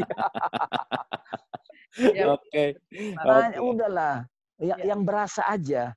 Oke. Okay. Gitu Mbak Winda. Ya, terima kasih okay. banyak. Oke, okay. sama-sama. By the way, Mbak Winda, pempenya enak banget. Udah gitu aja. Thank you, Mbak Winda. Thank you. Oke, okay, kita ke Yus Rusdian Ahmad, Bapak ya, Bapak Yus. Silahkan. Boleh di unmute, Pak Yus? Oh, Oke, okay. kalau gitu kita ke Ibu Ade dulu. Ibu Nurdiana Ade Darus, silakan. Mbak Ade, silakan. Ya, sudah sekarang sudah. Oh, udah, udah, udah. Oke, oke, sorry ya. Ke Pak Yus dulu ya. Mbak Ade, Ya, habis, Mbak Ade habis ini ya, sebentar ya. Oke, Ya. silakan Pak. Assalamualaikum warahmatullahi wabarakatuh. Ya, silakan. Waalaikumsalam, Pak. Ah, ya, eh, perhatian saya ada suatu ah, di Al-Quran disampaikan tentang ilustrasi alam barzah. Ya. Jadi setelah kematian itu kan kita berada di alam barzah. Hmm. Nah, di situ diungkapkan eh, suatu situasi di mana seseorang berada di alam barzah itu mencapai tingkat kesadaran yang sudah berbeda. Ya, Dia ya. bisa melihat hasil perbuatannya atau Ya. penyesalan atau kenikmatan gitu ya. Nah, Ya. tadi kita berbicara aku yang mana, aku yang mana kan. Betul. Ketika di alam barzah, kalau dia merasa menyesal atau dia merasa eh, bersuka cita, berarti pemahaman tentang aku yang sejati itu tetap berproses, bukan sesuatu yang sejati permanen kelihatannya. Karena dia ada penyesalan, minta balik lagi, tapi nggak boleh katanya di di di barzah, karena barzah itu penghalang. Nah ini tentang tadi kan bercerita tentang eh, ego ya, aku aku aku yang mana. Nah ketika roh, ketika kita kita meninggal dan menuju alam barzah, nah apa yang disampaikan Al-Quran itu eh, dan situasi kita seperti apa? Eh, nah, saya ingin sharing aja karena Pak, Pak eh, siapa? Pak siapa ini, Pak? Pak Yus? Rusdian, Pak Yus, Pak panggilannya Pak Pak Yus ya. Pak Yus. cukup Pak Yus ya. Ini tentang barzah itu Pak Yus Pak, udah- tentang udah barzah, tentang Iya. barzah dan personal apa eh, aku di situ seperti apa? Terima kasih. Oke. Oke, silakan Bang Pak. Pak Yus. Ya. eh, saya me- me- menghormati apa yang sudah diajarkan guru-guru kita memaknai barzah, Pak. Hmm. Barzah itu secara sederhana itu artinya antara, Pak. Hmm. Alam antara, in Iya. between. Hmm. di alam barnya. Nah, salah satu alam antara itu detailnya adalah siksa kubur, hisab, neraka dan seterusnya. Nah, Hmm. cuman pemaknaan kita adalah itu kita terjebak pada dogma-dogma. Nah, manusia ini Pak, ada jasmani, ada rohani kan? Rohani itu ilahi Pak, ilahi dalam diri kita. Itu aku sejati. Ya, tetesan tetesan rohani ilahi itu apabila bergabung ke laut, dia nggak ada bedanya sama laut. Jadi bayangkan Pak, kalau kita di kehidupan ini kita udah sampai pada kesadaran jati diri, kita itu tidak berbeda dengan laut. Kita itu, oke? Nah, masalahnya sekarang belum nyampe ke situ asumsi. Nah, antara jasmani dan rohani, di situ ada nafs jiwa. Nah, itu jiwa itu barjah, Pak. Sudah kita alami sekarang. Jadi jiwa yang menyesal itu dalam bahasa Al-Quran itu disebut nafsu lawamah. Nah, jiwa yang masih dendam, yang marah, masih serakah namanya nafsu ammaroh. Nafsul ammaroh, nafsul lawamah. Nah inilah ego Pak. Sebelum kita ajal, tadi kan saya sudah terangkan ajal, expire tubuh. Kita udah mengalami penderitaannya ego ini. Ya, nah karena itu dengan self inquiry kita mulai menonton, mengamati, mentafakurin jiwa ego ini. Maka muncullah jiwa mulhamah. Jiwa yang mengevaluasi Suaranya hilang. Oh iya, sebentar, sebentar. Nah, kok Bang Dame hilang? Sebentar ya, Ibu dan Bapak. Sorry, sorry. Iya, silakan. Ya, Nah, silakan. Alam barjah yang selama ini kita dengarkan itu, itu sebetulnya adalah alam yang kita alami sekarang. Batin kita. Nah ini memang pelan-pelan Pak, Pak Yus, karena belum terbiasa. Hmm. Nah, tadi alam sekarang. Jannah sendiri artinya taman yang tersembunyi jannah. Jin, jannah tersembunyi. Nah, jadi justru dengan kita belajar seperti ini sekarang, kita sudah mengetahui barjahnya kita sebelum kita memasuki barjah besar itu, katakan begitu. Tapi kalau kita sudah sampai pada jati diri, itu semua adalah mimpi. Makanya Nabi bilang, kalian hidup di dunia ini tidur. Begitu Hmm. kamu mati, baru bangun. Nah, kita ini kalau salah satu sahabat saya menyebut kita amnesia rame-rame Pak nih. Ya. Makanya amnesia itu kita di- dikasih notion-notion amnesia. Jadi yang bijak gimana Pak? Lebih baik sebelum kita dihisap, katakanlah kita asumsikan. Padahal kemarin kalau Bapak ikut nggak bicara time kemarin? Ya ikut Pak sebentar. Yus. Tapi nggak full kemarin. Halo Pak Yus? Ya halo ikut ya. Tapi nggak nggak full sampai selesai. Ah ya, Bapak bisa dengerin rekamannya. Ya ya ya. Tak, kita udah bicara time kemarin, Pak. Time itu in your apa masa depan itu ada di imajinasi kita, Pak. Masa lalu itu di barjah kita. Barjah itu adalah alam batin kita. Makanya siapa yang mengenal dirinya dikenal Tuhan. Jadi kalau Bapak terpaku pada konsep-konsep yang itu, tidak mengambil hakikat, itu akan terjebak, Pak. Mutar-mutar tuh di situ. Hmm. Justru sekarang kita karena banyak perumpamaan di Al-Quran itu banyak banget. Iktibar kita juga kan nyembah kan bukan nyembah batu pak. Iya, iya, iya. Ka'bah kan bukan kita menyembah batu. Ka'bah itu bagi ya Nabi yang ngomong sih. Kolbun mukmin baitullah. Kolbu itulah rumah Allah. Kolbu di mana? Kan bukan itu. Tapi orang kan nggak ngerti masuk ke dalam. Harus ada titik. Titik itu apa? Silent. Hmm. Jadi rumah Allah itu apa? Silent. Udah selesai. Begitu kita silent, damai udah. Nggak ada mikir neraka, ah, nggak ada lagi udah. Ya. Tapi selama kita masih jadi person, Pak, ada neraka, Pak. Ada jannah. Nabi Adam aja kan turun dari jannah. Ada sih pembahasan kosmologinya, pembahasan mitologinya ada. Tetapi saya ingin mengajak teman-teman, pengetahuan-pengetahuan yang kita pegang dalam hidup kita adalah pengetahuan yang kita alami. Eh, Tadi Pak menyampaikan ada barzah kecil sama barzah. Ya, kalau Besar. secara konsep Maksud- secara konsep ada begitu, Pak. Nah, itu Oh. kan konsep lagi tuh, Pak, nanti. Oh. Oke. Ya. Ibnu Arabi ada bicara itu, saya juga ikut apa pengkajian seperti itu dan finally begitu ditagih hutang ribet juga dia gitu. Oke. Sementara gitu ya, Pak Yus ya. Ya, monggo. Terima kasih, Ya, ya, terima kasih. sama-sama. Oke, kayaknya kapan-kapan kita perlu bahas kebangkitan nih ya. Hmm, hmm. Kapan-kapan ya kita bahas ya kalau, benar. kalau kalau waktunya udah pas lah. Oke, terima kasih Pak Yus. Kita ke Mbak Ade. Silakan Mbak Ade. Bu. Oke, Ya. makasih. Oke, Mbak Ade, silakan. Assalamualaikum, Bang Dame. Waalaikumsalam, Mbak Ade. Mau nanya tentang proses kematian itu, Bang Dami. Kalau tadi kan Bang Dami pernah merasakan di dalam koma. Sedangkan kan kita selama ini kan mungkin ditakut-takuti nih Bang Dami proses kematian itu yang nanti sepertinya kalau kematian itu sang, apa, sangat menyakitkan. Jadi kalau misalnya kita makan apel, katanya Rasulullah juga serasa dengan makan apa, makan apel itu rasa sakitnya itu terkurangi. Tapi sepertinya kalau bisa tadi penjelasannya Bang Nabi, kalau misalnya itu kita setiap hari kita pun mati, kalau kita dalam deep sleep, berarti kan itu kan suatu proses yang sangat nyaman ya Bang Dami. Iya. Suatu proses yang kita nggak perlu ketakuti kan? Gitu Iya. ya? Iya, tapi kalau masih datang si takut itu, itu yang takut siapa, Bu? Si Aku kan, aku kan, berarti. Aku, aku personality kan? Ya sudah, Iya. begitu kita sudah mengamati yang takut itu siapa. Nah, kamu bukan si person itu, kamu adalah yang yang mengamati. Nah, siapa aku yang mengamati ini? Tiba-tiba kita terdiam. Tiba-tiba Hmm. kita damai. Stay there, itu namanya zikrullah.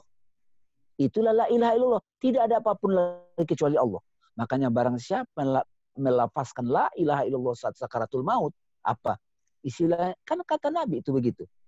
Bukan lapas la ilaha illallah mulut saja, Hmm. tapi proses kontemplasi. Tidak ada apa pun kecuali Allah. Apa artinya wal awalu wal akhiru wal zohiru wal batin? Tidak ada apa pun kecuali Allah. Kita ini siapa sih? Bukan Hmm. tubuh. Bukan suami, bukan ayah. Who am I? Itu self inquiry, Bu. Makanya terus terang begitu. Kenapa ini saya coba share ke teman ke orang-orang Mas Abu. Ya. Tadinya kan saya share ini ikro, cuman orang nggak mudeng dipikir anak saya oh belajar sama Bang Dami apa ikro. Anak saya belajar ikro satu, ikro dua dia pikir kali baca. Oh nggak gitu. pas lagi. Padahal udah bikin bukunya ini penyelidikan diri. Hmm. Akhirnya ketemulah bahasa Inggrisnya self inquiry. Ternyata banyak guru-guru spiritual sages orang-orang suci yang pakai. Jadi kita langsung ke core-nya, Bu, Iya, iya, iya. ke intinya. Di sini kita saya saya baca buku juga, saya belajar. Terlalu banyak konsep itu menumpuk-numpuk di sini jadi profesor. Makanya saya bilang, begitu ditagih cicilannya, stres juga dia itu. Tapi kalau orang sudah self inquiry, oh ini siapa yang yang terganggu nih, diamati. Itu dilakukan seumur hidup lama-lama. Kita mulai dominan. Ternyata aku ini siapa sih? Hmm, hmm, hmm, hmm. Ya, Yes, Bang. Aku it- itu yang dibilang Socrates, knowing yourself. Hmm, hmm, hmm. Hadis Nabi juga, meskipun ada ustatusan bro ini sohi apa enggak, konsep lagi, udah deh mau doib ke mau kagak kayak kata Imam Al Ghazali. Iya, itu kan jadi mutar, itu kan kedengkian aja gitu loh. iya, iya, iya, iya. Saya pernah ada satu masa asik berdebat begitu, nggak ada selesainya. Hmm, hmm, hmm. Nggak damai juga, agamanya nggak menolong dia. Oke. Gitu, Mbak Ade kira-kira. Ya, makasih Bang Oke Dami. ya. Bu. Thank you. Thank you. Kita ke Ibu Isya. Silakan Bu Isya. Assalamualaikum Bang Dame Abu. Ya, Waalaikumsalam iya. Bunda. Bang, ketemu lagi. Saya eh, mau sharing aja dan mengucapin terima kasih sama Bang Dame. Karena saya itu sebetulnya waktu itu memang ada rasa sedih kalau ditinggal meninggal. Pertama saya sama ayah saya lagi itu saya belum belajar ini. Sesudah saya belajar dari beberapa guru itu pun apa iya, apa enggak gitu kan masih belum yakin banget. Terus kita ketemu ya Bang Dame ya lagi itu. Ya, ya, ya. Kami menjelaskan kematian ini. Itu udah agak di saya juga, oh ternyata ada beberapa orang juga yang pikirannya sama kayak gini yang ngajarin saya gitu kan. Di situ saya mulai belajar yang Bang Dame sampaikan itu. Dan eh, lagi itu saya tapi masih ada agak sedihnya juga ya Bang Dame ya. Lagi itu waktu Ya. saya ketemu Bang Dame itu suami saya baru meninggal kan. Ya, ya. Dan itu saya baru hilang sedihnya itu tiga tahun. Hmm.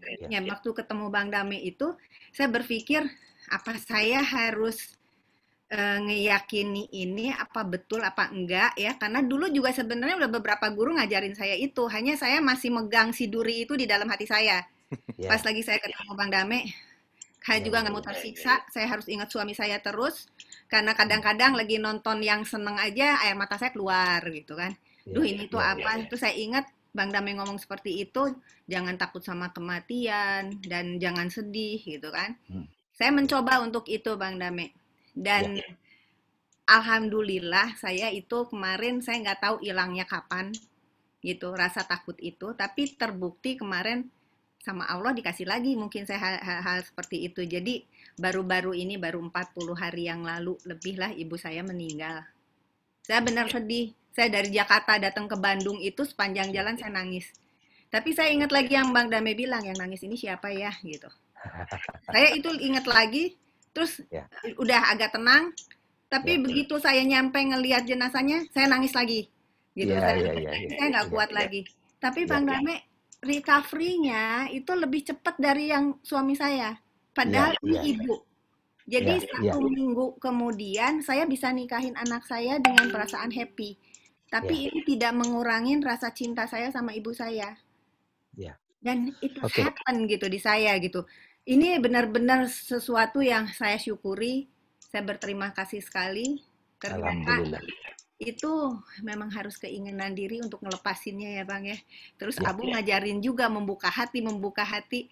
Alhamdulillah sampai hari Hmm. ini hidup saya rasanya lebih bahagia dan lebih tenang itu. Ya. Makasih Bang. Alhamdulillah. Makasih Abu. Ya. Alhamdulillah. Bu, Ya, silakan. saya saya mau cerita ada satu saya pernah baca buku judulnya No Fear No Death. Ya. Itu ditulis oleh Thich Nhat Hanh, seorang guru dari tradisi Zen gitu ya. Ya. Ibu, Bapak Ibu bisa klik di internet Thich Nhat Hanh itu dia eh, kayak Dalai Lama lah. Iya. Dia punya pengalaman ibunya meninggal. Dan dia sedih banget. Dia seorang biksu. Sedih banget. Seperti kita, perasaan sedih. Dan dia nggak bisa tutup-tutupin. Jadi bukan berat, kalau kita sedih bukan jadi kita tolak. Nggak apa-apa lagi sedih. Tapi kita self-inquiry. Nah ketika dia sedih, selama dua tahun beliau itu sedih. Nah karena dia merasa kehilangan. Sampai satu ketiga, ketika dia tidur, dalam tidur itu dia ketemu ibunya. Dia ketemu ibunya dan dia mem, ibunya membelai dia. Sebet, dalam pengalaman mimpi itu, dia merasa ibunya tetap hidup. Dia merasakan pelukan kasih sayang. Dia merasakan belayan kasih sayang. Ingat dia saya ulangi. Dia merasakan pelukan kasih sayang. Dia merasakan kehadiran belayan kasih sayang. Setelah dia bangun pagi, dia hilang sedihnya. Kenapa? Karena belayan kasih sayang dia rasakan dari mentari. Belayan kasih sayang dia rasakan melalui pohon cemara. Siapa sih sebetulnya ibu kita itu? Hmm. Dia adalah representatif dari nama Tuhan. Harus sampai ke situ kontemplasinya. Baru sedihnya hilang. That's it. Itu juga mohon maaf yang dialami almarhum Pak Habibie kebetulan tahun 2003 saya rutin juga ngajar ke rumah beliau. Nah, begitu Bu Ainun meninggal, itu sedih banget beliau dipahami. Sampai beliau belajar. Hakikatnya, substansinya Bu Ainun ada di sini katanya. Nah, saya juga mengalami dengan ayah saya waktu ayah saya meninggal. Ada sedih. Tapi begitu kita, apa sih yang aku kangen dari ayahku? Misalnya nih teman-teman, udah kenal pardamian. Kan nggak ketemu secara fisik nih, Pak Abdul Qadir misalnya nggak ketemu. Hmm. Nah, di benaknya Pak Abdul Qadir itu sudah ada sosok damai. Maknanya apa? Ada sebuah makna apa? Mungkin ilmu atau apa. Itu kan kehadiran nama Tuhan. Itu yang abadi. Nah, dengan anak-anak juga begitu kita sekarang. Hubungan itu. Hubungan yang abadi apa?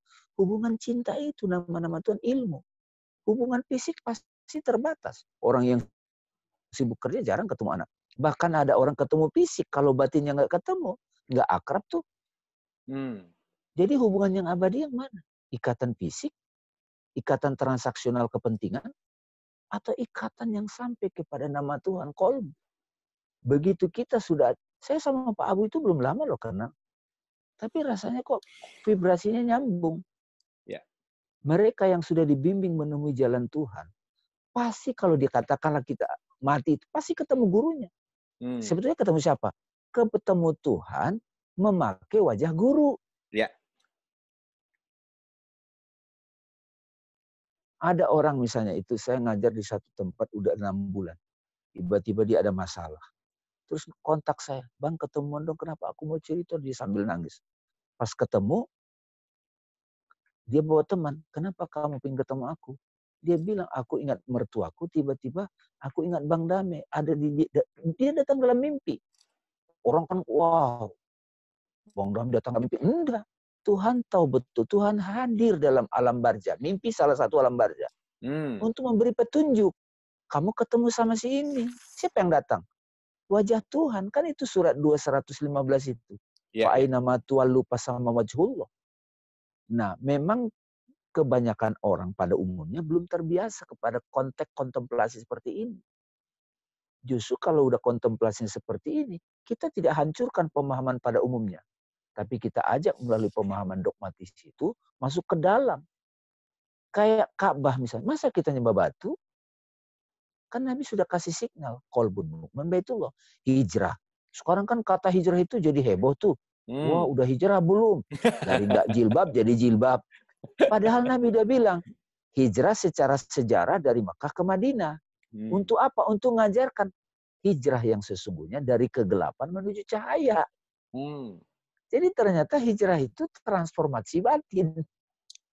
Yes. Dari ketidaktahuan jadi enlighten gitu loh. Cuman kan sekarang makna hijrah sudah mengalami reduksi makna gitu ya. dan mengklaim itulah hijrah yang sebenarnya. Aduh repot lagi. Oke, Bang Damai, mudah-mudahan bisa menjawab ya Bunda Isya ya. Ya, terima okay. kasih. Alhamdulillah. Enak, ya. Sama-sama kasih ya, Bu. Oke, terima kasih. Oke. Ntar. Ibu Penny sama Pak Wisnu, habis Pak Irwan sama Bu Asti ya. Habis ini dua lagi. Oke, kita ke Pak Irwan dulu. Silakan Pak Irwan. Iya nih Bang Dame, Iya, Irwan. Pak. Iya, Pak Irwan. Saya agak terlambat tadi masuk kelas. Jadi yang eh, dengan melakukan tafakur itu berarti kita melakukan proses eh, pers- kematian personality. Apakah begitu Bang Dame? eh gini, sederhananya gini, Pak. Saya sekarang ini termasuk penganut meditasi atau tafakur itu kita akan menemukan ritmiknya kita masing-masing, Pak. Hmm. Jadi the true meditation-nya kita masing-masing akan kita temukan dalam perjalanan hidup kita. Memang ada latihan-latihan seperti belajar hening, kemudian ritual sholat, tafakur, ngolah nafas. Ada banyak latihan seperti itu. Tapi ada orang terlalu ketat jadi ribet gitu. loh. Kalau dari pertanyaan Pak Irwan tadi, pada saat kita tafakur itu, contoh misalnya Bapak pagi-pagi itu bertemu orang ribut, marah-marah, ego lah kira-kira kan. Spontan gitu. Nyesel dong, aduh kenapa sih aku begitu mas, aku kan udah janji nggak begitu lagi. Malamnya Pak sebelum tidur, kita hening sejenak, diam, kita putar lagi videonya Pak. Itu dalam bahasa Islam suka disebut namanya muhasabah, Hmm. menghisap diri. Muhasabah salah satu bentuk tafakur. Nah, tidak semua orang punya kebiasaan begitu, Pak. Saya punya kebiasaan begitu. Jadi kalau pagi-pagi kadang macet itu kita ngomel, buka YouTube, kita terganggu batinnya. Saya putar lagi videonya. Saya edit, Mas Abu. Ya. Video itu saya edit. Apa maksudnya diedit? Kita maknai ulang, kita tonton. Begitu kita menanggapinya pakai kolbu, kita mulai belajar dari peristiwa tadi. Itu namanya kematian ego, Pak. Hmm. Kullun nafsin da'ikotul maut. Nah, ego yang marah-marah mati, maka lahir jiwa yang dapat hikmah. Kalau kita tidak melakukan proses tafakur seperti itu, itu numpuk egonya Pak di file batin kita. Akhirnya kita menganggap diri kita ego itu. Itulah sumber penderitaan. Nah, self iya. inquiry penting, gitu loh Pak. Iya, iya. Puasa itu kan ngajarin kita itikaf itu tujuannya itu. Bukan Hmm. mau rame-rame sih. Ngumpul. Sekarang kan nggak bisa itikaf rame-rame di masjid. Ya, betul. Ada betul. bagusnya juga tuh. Supaya kita masuk Iya, iya. gua batin kan. Betul. Betul. Ada bagus. Iya, Oke. terima kasih Bang Dame. Terima Oke, kasih Pak Pak. Irwan. Semoga menjawab pertanyaannya Pak Irwan. Iya, iya, Terima sama-sama. kasih. Oke, kita ke Ibu Asti. Silakan Ibu Asti. Ya, Assalamualaikum. Waalaikumsalam. Silakan. Eh, Bu. selamat malam Bang Damai sama Kang Iya. Abu. Saya mau tanya, ya, yang dimaksud selama ini kan ki- saya ngerti ya apa kita dikasih tahunya negeri akhirat itu setelah kematian gitu ya. Hmm, Nah, hmm. Saya mau tanya yang dimaksud negeri akhirat itu yang saat sekarang setelah melalui apa tadi mengalami proses eh, yang saat ini apa nanti gimana mohon dijelaskan biar saya paham banget. Oke. Bang, Bu. kita bicara akhirat, Bang. Silakan, Bang. Iya, iya. Bu. Halo, Bu. Ya, ya Bang Ibu, Dame. ibu, ibu ikut nggak pemahaman pelajaran time kemarin? Belum sempat dengerin tapi sudah dapat rekamannya karena hari ini tadi Nah. sibuk banget nanti akan didengerin. Ibu, ibu, ibu dengerin itu, itu sangat Ya. membantu. Karena di Ya. situ kita pretelin waktu secara logis ada tiga. Masa Ah, lalu, masa depan, masa kini. Mana yang hakiki? Kita kita renungkan waktu itu, kita self inquiry. Ya. Jadi Ya. masa lalu kejadian 10 tahun yang lalu dengan mengingat 10 jam yang lalu sama cepatnya, Bu. Itu kayak cloud. YouTube yang diupload tiga tahun lalu dengan YouTube yang diupload satu jam yang lalu sama cepatnya kita ngambil. Oke? Nah masa depan juga begitu bu. Rencana dua tahun lagi begini, dua jam lalu begini, ada di benak kita.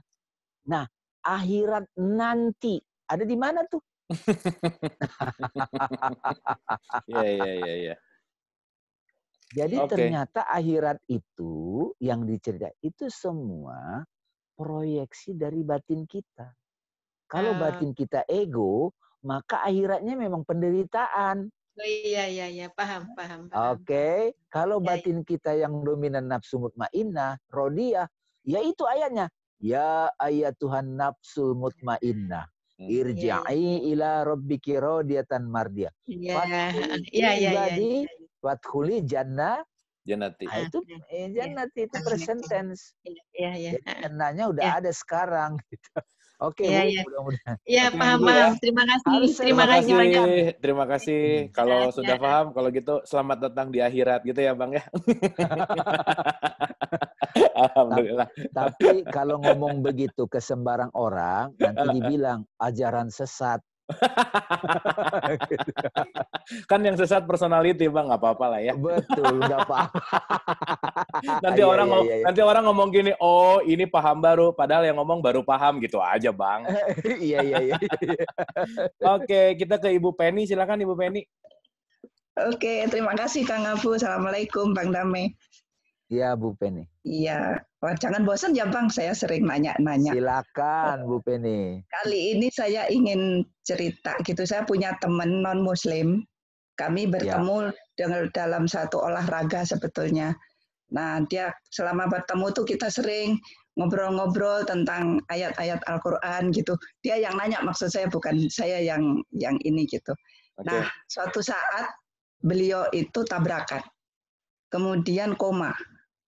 Kurang lebih setelah tiga minggu, dokter udah nyerah. Dokter bilang ke istrinya bahwa kemungkinan ini dua, dua bulan atau tiga bulan kalau bisa dilewati, mungkin dia bisa hidup lagi. Nah, setelah tiga minggu dia bisa buka mata, dia sadar lagi. Pertama kali begitu buka mata, dia bilang sama istrinya, panggil itu Penny katanya gitu. Akhirnya kami ditelepon waktu itu kami sedang apa gitu. Terus kemudian sa- saya datang ke rumah sakit, dia cerita bahwa selama ini dia berjalan-jalan di satu tempat, dia tidak tidak bisa sebutkan apakah itu kota atau apa atau apa nggak bisa, ketemu dengan orang. Dia mengaku namanya, pokoknya yang disebutin itu nabi-nabi lah gitu. Hmm, Ketemu inilah, ketemu itu gitu. Terakhir tuh ketemu Sulaiman. hmm. Kemudian si sama si Sulaiman eh, dia disuruh pulang gitu. Kamu mau ke mana gitu? Aku mau jalan lagi, nggak boleh. Kamu harus pulang. Dia cerita begitu. Begitu dia mau pulang, dia melihat jasadnya itu, dia mau masuk ke situ, tapi ada banyak orang tanda kutip berkerumun di situ sehingga dia nggak bisa masuk. Lalu dia balik lagi ke yang namanya Sulaiman. Dia tanya, aku nggak bisa balik katanya karena rumahku sudah didudukin banyak orang. Nah, kemudian si Sulaiman itu bilang, kamu bisa kan ayat kursi katanya gitu. Bisa. Ya udah, kamu baca ayat kursi. Begitu dia baca ayat kursi, tentu dia masuk lagi itu di tubuhnya jelek. Nah, saat itu dia sadar. Hmm. Makanya terus dia pengen ketemu saya mau cerita itu gitu. Karena kalau dia cerita sama istrinya, dia bakalan diketawain gitu. Hmm, hmm, hmm. Pertanyaan saya, siapa yang jalan-jalan? Apakah itu jiwanya itu sedang melakukan journey, journey untuk self inquiry begitu? Kemudian masih diberi eh, waktu oleh Tuhan bahwa jasadnya itu masih layak sehingga dia balik lagi atau gimana? Gitu Bang. Terima kasih. Assalamualaikum. Waalaikumsalam. Silakan Bang Dame ini menarik banget nih Bang Dame. Iya, Bu, Bu Penny. Penny ya. Ya.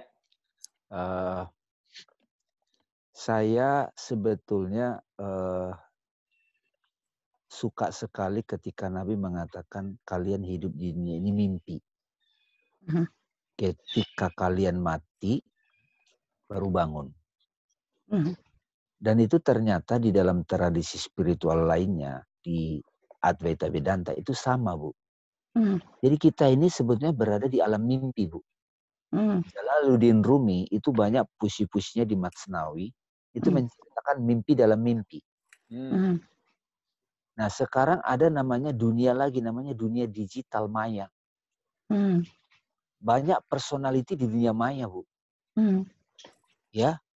Glenn Fredly almarhum, tubuhnya udah nggak ada fisik, Mhm. tapi dia masih ada di dunia maya, YouTube. Mhm. di YouTube. Mhm. Almarhum Didi Kempot itu sudah tidak ada fisiknya, hmm. tapi masih orang dengerin lagu-lagu. Hmm. Mana sih diri yang asli? Atau siapa sih yang hidup itu sebenarnya? Hmm. Nah, di situlah kita mulai paham. Apakah itu alam mimpi, alam imajinasi, hmm. atau digital? Itu semua hmm. manifestasi, Bu. Ya, ya, ya, ya. Ya, tidak hakiki. Yang hakiki hmm. adalah nama Tuhan yang hadir dalam peristiwa itu. Itu yang dipegang, Bu. Hmm. Makanya saya bersyukur ada pendidikan apa metafisika yang jelas bahwa hmm. apa pun yang kita mimpikan, yang lebih penting apa adalah apa yang kita rasakan, kehadiran makna apa yang kita rasakan dengan mimpi itu. Mm. Nah, kenapa ada sosok Sulaiman? Itu butuh kontemplasi sendiri tuh. Karena mm. Nabi Ibrahim sendiri ketika dapat petunjuk lewat mimpi, itu beliau ditampakkan naruh pedang di leher anaknya. Mm. Itu pun ber, apa, berkali-kali Nabi Ibrahim merenung. Jadi mm. sahabat-sahabat sekalian, kalau ada pengalaman seperti itu, fokus pada pengalaman rasanya, batinnya. Hmm. Nah, kalau kita belum dapat maknanya, tunggu aja nanti Allah akan ngasih tahu, oh ini hmm. makna mimpi itu. Hmm. Toh kehidupan kita sekarang ini ngomong ini mimpi, Bu. Hmm. Yes. Nah, ada satu film namanya Metric. Hmm. Itu ya. sebetulnya menceritakan itu juga. Ini semua hologram. Hmm. Nah, terus terang orang yang sudah sampai pada tujuan tertinggi dari kehidupan manusia adalah untuk bisa bangun dari hologram ini. Jadi yang ada siapa? Ya Tuhan aja sendirian. Hmm. Nah itu bu, itulah ke kelebihan manusia. Dia sampai pada itu. Wali itu dia nyampe ke situ. Makanya wali Allah itu nggak takut apa pun. Ya, karena siapa wali itu? Wali itu nama Tuhan, Al-Wali. Hmm. Ya, mudah-mudahan hmm. diskusi-diskusi kita ini kita dengan rendah hati bermohon supaya kita bisa merealisasikan itu. Okay. Bahwa yang hidup itu sebetulnya bukan person ini, tapi zat Allah yang al-hayu itu. Mhm. No form, dia no form. Kalaupun yeah. ada formnya di Asmaul Husna itu. Yes. Makanya itu yang disebut Nur Muhammad itu hidup sampai kapan pun. Muhammad bin Abdullah kan disepir. Hmm. Karena Basaria kan. Ya. Yeah. Kalau di tradisi lain Krishna. Krishna itu hidup terus. Hmm. Ya, makanya betul juga tuh Pak Abu tuh. Kayaknya perlu juga diskusi kebangkitan itu kan. karena nanti karena kita bahas Bang. Itu, awakening bangun kan gitu. Awakening Oke, okay, makasih Bu Penny, terima kasih. Ya. Thank you, thank you Bang. Jadi kalau ngomongin Matrix uh, harus jadi Neo ya Bang ya, The One. Iya, The One. Ahadiah, ahad ya iya. Itu Matrix tauhid banget ya, yang bikinnya sadis tuh. Ya, betul. Oke, okay, ini pertanyaan terak, uh, dua ya, ada dua lagi. Mbak, ini uh, namanya panjang ini. Pak Wisnu abis ini ya, DH2 mungkin silakan. Mbak Sitria ya kayaknya ya.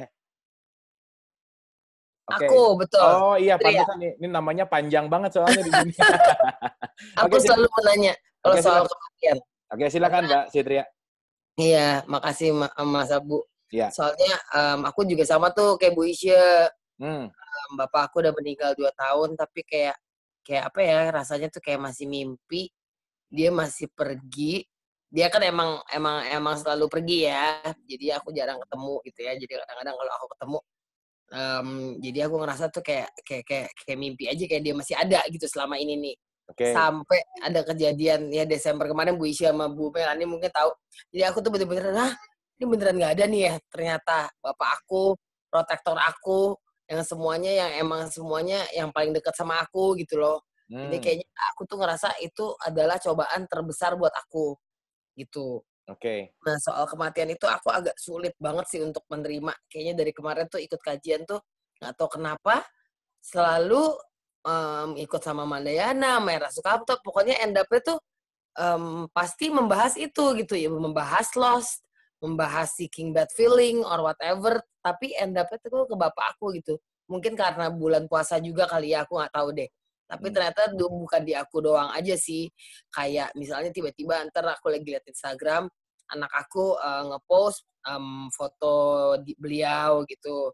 Ntar aku nangis lagi Abis itu hmm. ntar aku ngeliat foto, abis itu ngeliat adik aku ngepost foto dia lagi gitu loh karena okay. emang role model kita banget dan ya maksudnya emang ya namanya juga bapak kita gitu ya dan um, anak aku tuh udah kayak anak dia sendiri gitu kan. Okay. um, udah besar gitu ya.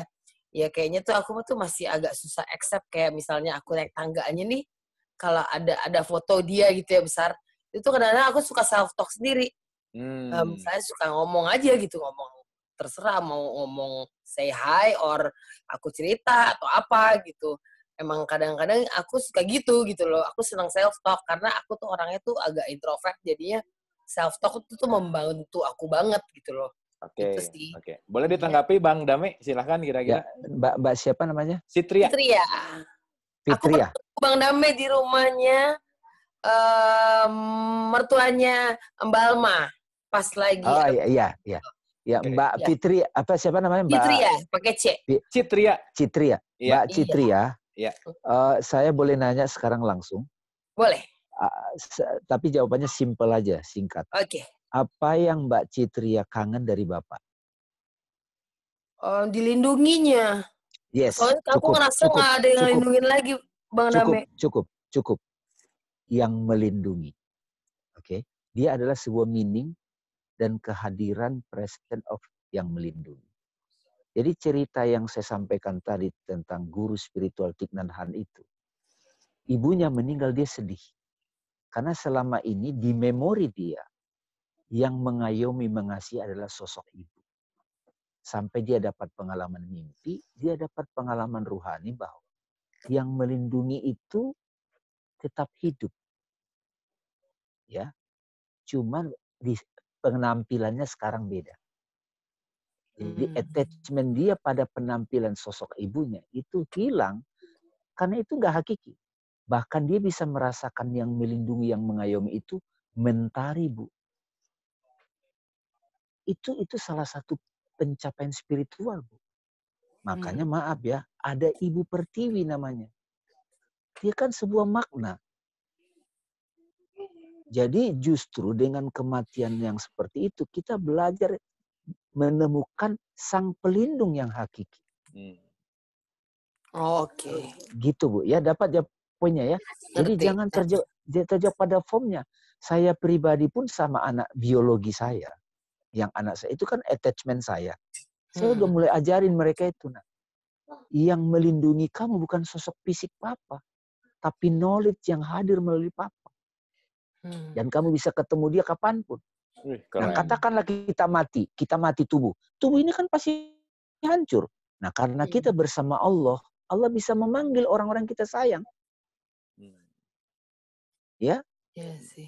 Dan nah, kontemplasi seperti ini, self inquiry ini membuat kita jadi freedom. Di situ kita sadar ayahku substansi tidak pernah mati.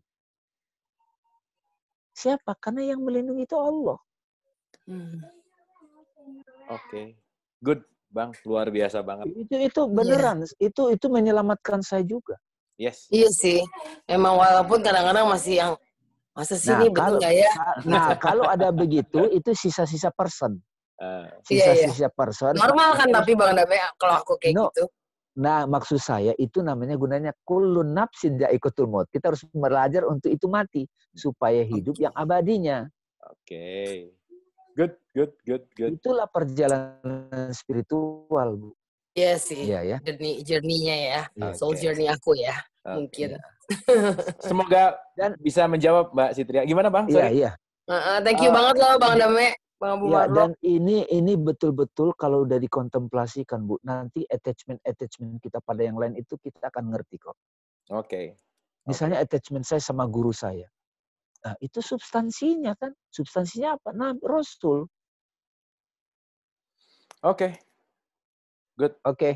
Terima kasih, Bang. Ini uh, Pak Wisnu terakhir, uh, singkat, padat, jelas. Silakan, Pak Wisnu. Atur nuhun. Assalamualaikum warahmatullahi wabarakatuh. Nuhun. Waalaikumsalam. Mangga, Waalaikumsalam, Pak. Silakan, Pak. Enggak bertanya, saya hanya ingin ini memohon pada Bang Dame. Tadi dibahas tentang alam bahasa, kemudian ada padang masyar, padang masyar, uh, maaf, tadi padang masyar ya, padang masyar besar, padang masyar kecil. Saya hanya ingin bermohon, kapan-kapan dalam rangka the most valuable Ramadan ini, ceritakan dong Bang tentang hal-hal seperti itu. Jadi Kang Abu, okay. Bang kita juga ceritakan dong. Oke, oke. Itu aja. Ya, ya. Oke. Boleh, boleh. Ya, Mas Sabu silakan Pak. Nanti di, diatur aja Pak kita cerita-cerita begitu ya. Aman, ya. luar biasa. Ya. Oke, Bang Dame, uh, sahabat semua boleh tepuk tangan dulu dong buat Bang Dame ya. Wah, seperti biasa. Top deh pokoknya setiap Bang Dame hadir. Oke, Bang Dame, final statement. Silakan sebelum acara ini kita tutup.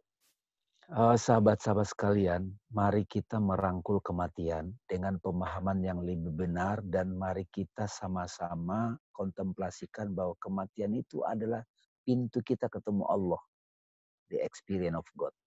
Kalau masih ada pemahaman-pemahaman pemaknaan kematian yang membuat kita ribet, itu perlu kita koreksi. Ya, hmm, hmm. mudah-mudahan di seberang kematian itu kita menemukan kehidupan yang sejati. Ya. Allah. Oke, oke. Terima kasih Bang Dame, luar biasa. Sekali lagi boleh tepuk tangan untuk Bang Dame, top banget. So intinya, Ibu dan Bapak yang dirahmati Allah, pintu kematian boleh jadi adalah gerbang menuju kepada keabadian, gerbang menuju kepada ilahi rojiun. So jangan pernah takut mati, karena mati kepastian, mari kita persiapkan dengan hati yang terbuka, dengan kesadaran yang terbuka, dengan keikhlasan bahwa kulun nafsin zaikatul maut. Insya Allah mudah-mudahan kita termasuk golongan orang-orang yang siap dan bisa melanjutkan perjalanan menuju ilahi rojiun. Terima kasih. Mohon Amin. maaf lahir dan batin. Semoga bermanfaat. Wabillahi taufiq wal hidayah. Assalamualaikum warahmatullahi wabarakatuh.